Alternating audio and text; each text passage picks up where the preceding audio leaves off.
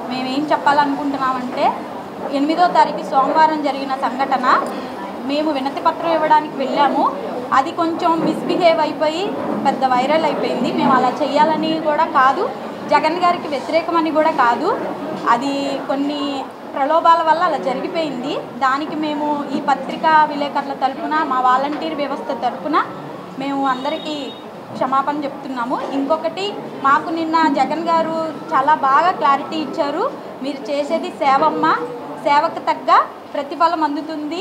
మీకు గౌరవ వృత్తి అనేది మీకు ఇస్తున్నాము. మీరు సేవ చేయండి. ఆ సేవ కూడా వారానికి మీకు వీలైన టైముల్లోనే రెండు రోజులు కానీ మూడు రోజులు కానీ వచ్చి సేవ చేయండి అని చెప్పారు. మాకు చాలా క్లారిటీ ఇచ్చారు దాని దాని విషయంలో. ఎందుకంటే ఇప్పటివరకు జరిగిన మేము ఫేస్ చేసిన ఈ పద్దెనిమిది నెలల నుంచి మేము ఫేస్ చేసిన ప్రాబ్లమ్సే కానీ మేము రోజు వెళ్ళి తమ్ము వేయాలి అటెండెన్స్ వేయాలి అటెండెన్స్లో సైన్ లేకపోతే మిమ్మల్ని తీసేస్తాము మీకు ఒక రోజు వేతనం కట్ అయిద్ది అనే చాలా విషయాలు జరిగినాయి ఇప్పటి వరకు. వీటిలన్నిటికీ రాత్రి జగన్మోహన్ రెడ్డి గారు మాకు క్లారిటీ ఇచ్చారు. మేము చేయాల్సిన సేవ ఏంటో ఆ సేవకు సంబంధించిన వృత్తి ఎంతవరకు వచ్చిద్దో దాన్ని మేము ఏ విధంగా నెరవేర్చుకోగలమో ప్రజల వద్దకు ఆ పాలనని ఎంతవరకు తీసుకెళ్ళగలమో ఆ సేవలను అందించగలమనే అనే దానికి ఒక క్లారిటీ ఇచ్చారండి. దానికి మేము జగన్మోహన్ రెడ్డి గారికి సదా రుణపడి ఉంటాం. మా విజయవాడ వాలంటీర్స్ అందరి తరఫున ముఖ్యంగా ఆయన మాకు క్లారిటీ ఇచ్చినందుకు ప్లస్ ఈ- ఇంతవరకే ఈ టైము ఈ ఈ టైంలోనే పనిచేయాలి వారంలో మూడు రోజులే మీరు రావాలి అనే విషయాన్ని క్లారిటీగా చెప్పారు మాకు. రోజుకి మూడు గంటలు. మీకు కుదిరిన టైముల్లోనే అని అని కూడా అన్నారు. మిగిలిన టైం మీరు ఏ వర్క్ అయినా చేసుకోండి అని కూడా క్లారిటీ ఇచ్చారు. దానికి ఈ రోజుకి మాకొక మా వర్క్ ఏంటి మేము చేసే సేవ ఏంటి దానికి సంబంధించిన వృత్తి ఏంటి అనే విషయాన్ని మాకు క్లారిటీగా చెప్పి జగన్మోహన్ రెడ్డి గారికి మా విజయవాడ వాలంటీర్స్ అందరి తరఫున కృతజ్ఞతలు తెలుపుకుంటున్నాం నా పేరు కొల్లి ఆశాలత అండి. నేను ఒక విజయవాడ వాలంటీర్గా వర్క్ చేస్తున్నాను.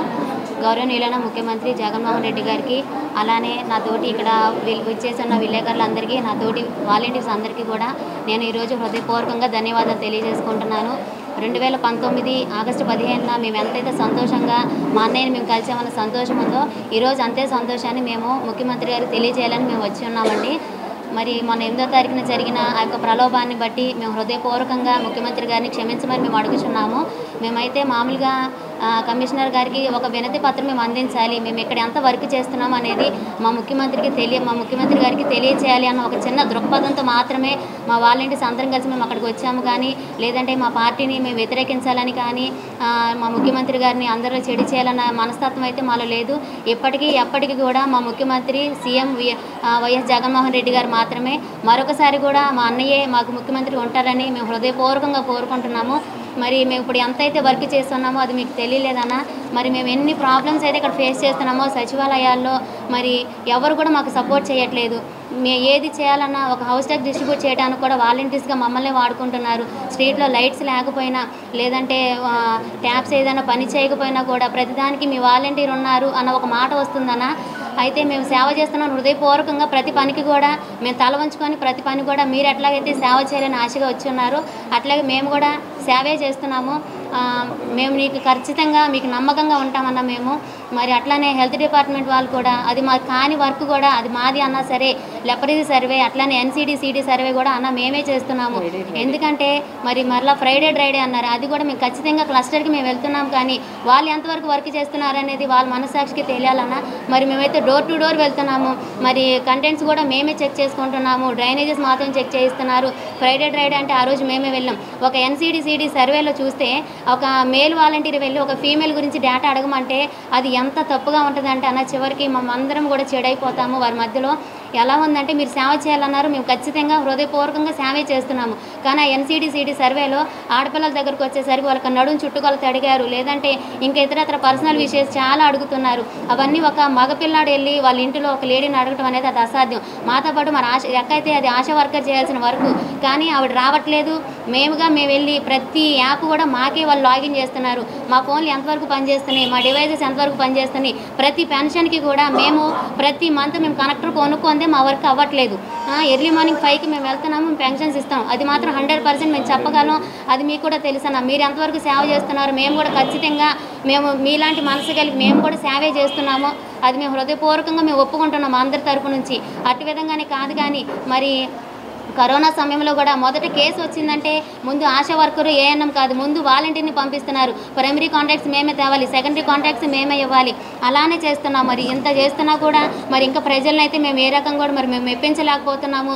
మేమైతే మీకులాగే పూర్తిగా మరి ఒక ఇటువంటి పరిస్థితుల్లో మా తోటి మరి మగపిల్లలైనా కూడా వాళ్ళ జాబుల్ని వదిలేసుకున్నారు. పూర్తిగా నా మా అన్నయ్య మా అన్న అని మేము ముఖ్యమంత్రి మీరు మా అన్న అనుకొని నమ్మకంగా మేము సేవ చేస్తున్నామన్న. మరి మొన్నటి జరిగిన విషయంలో మేమందరం కూడా క్షమించమని అడుగుతున్నాం. ఎందుకంటే మరి మేము చాలా బాధపడ్డాము. ఒక రకంగా ఒకవేళ మేమేమైనా నెగిటివ్గా చేసేమేమోనని దయతో మీరు క్షమించండి.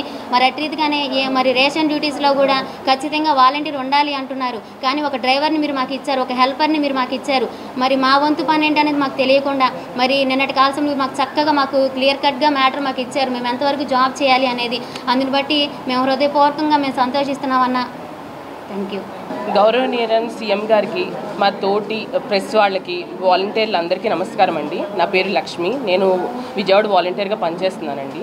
మేము మేము వాలంటీర్గా పనిచేస్తున్నప్పుడు విధుల్లోకి వచ్చినప్పుడు ఎంత హ్యాపీగా సేవా దృక్పథంతో వచ్చాము అదే దృక్పథంలో ఇప్పుడు కూడా కంటిన్యూ అవుతున్నామండి. నవరత్నాల వరకు అంటున్నారు. నవరత్నాలు కాకుండా వేరు వేరు కంప్లైంట్స్ వేరు వేరు దాంట్లో కూడా మమ్మల్ని ఇంక్లూడ్ చేస్తున్నారండి. అలాగే ఇప్పుడు ఏంటంటే స్పందన అనేది ఇంక్లూడ్ అవుతుంది. స్పందన అనేది ఇంక్లూడ్ చేసిన తర్వాత వెంటనే ప్రాబ్లం అనేది సార్ట్ అవుట్ అవ్వాలండి. అది మా మేడమ్స్ కానీ మా సర్స్ కానీ చూసుకోవాలి. అది కూడా మేమే వెళ్ళి చూడాలని చెప్పేసి అంటున్నారండి. మాకు ఓన్లీ నవరత్నాల వరకే ఇచ్చినప్పుడు నవరత్నాల డాక్యుమెంట్స్ అనేవి మా దగ్గర ఉంది సార్ ఆరోగ్య స్థిత్యా కానీ ఏదన్నా సరే ప్రాబ్లం అనేది దేనికైనా సరే వాలంటీరే అంటున్నారండి. మాకు తెలిసింది కొద్ది వరకు అంటే రైస్ డి రైస్ డివిజన్ కానీ ఏదైనా సరే లై స్ట్రీట్ లైట్స్కే కానీ దేనికైనా సరే వాలంటీర్ వాలంటీర్ అంటున్నారు. మాకు ఓన్లీ పర్టికులర్ వర్క్ చార్ట్ అనేది ఇస్తే మేము సేవా దృక్పథంతో ముందుకెళ్తున్నాం సార్ మాకు ఇప్పుడు ఏంటంటే హౌస్ మాకు ఓన్లీ యాభై ఇల్లు వరకే అన్నారు. యాభై ఇల్లు కాకుండా యాభై మించి కూడా ఉన్నామండి. రెండు వందల యాభై మించి ఫ్యామిలీస్ కూడా మేము ఇంక్లూడ్ అయ్యి చేస్తున్నాం సార్. కొద్దిగా మా ప్రాబ్లం అనేది అర్థం చేసుకొని సేవా దృక్పథంతోనే మేము ముందుకెళ్తున్నాం.